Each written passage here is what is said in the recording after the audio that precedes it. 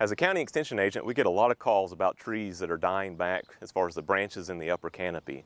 One of the more common problems that we see or get calls about is mistletoe. A lot of people don't realize that mistletoe is actually a parasitic plant that infects the branches of trees and can actually steal water and nutrients from those branches.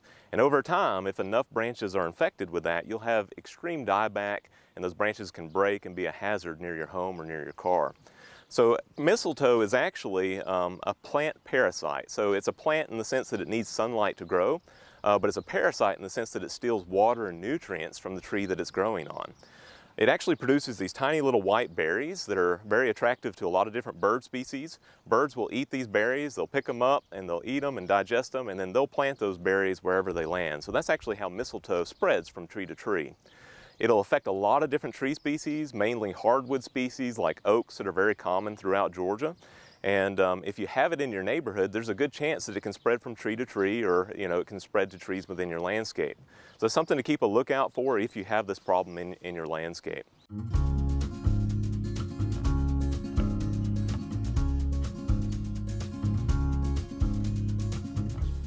One of the best ways to control mistletoe is to prune it out.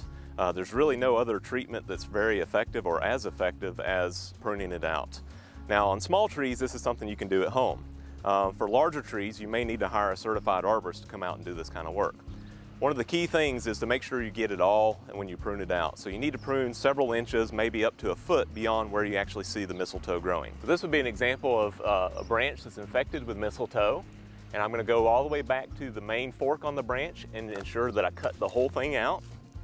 And then here's another one that's infected with mistletoe and we'll pull that one out and you can see how I cut about a foot off of that branch um, to make sure we got all the mistletoe out.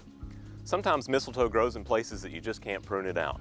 If it's growing on the main trunk of the tree or on a larger branch, you may not want to prune that out because it'll actually, you know, make the branch or the tree look bad when you prune that out. So for those types of situations, we actually do recommend covering the branch uh, or the area that's pruned out. If you just cut the mistletoe off the branch, you still have where it was attached in the branch, embedded in the branch itself. And so mistletoe has to have light to be able to grow. And so if it doesn't have light, it'll actually die out after a while. So what we recommend is actually wrapping that branch with a black plastic material and you can use tape to secure it to the branch and keep it on there nice and tight. And that'll need to be adjusted periodically so it doesn't grow into the branch or girdle the branch. Um, and then this actually needs to stay in place for about two years to make sure that you exclude the light long enough to kill out the mistletoe. Um, and again, for larger jobs, this may not be something you can do yourself.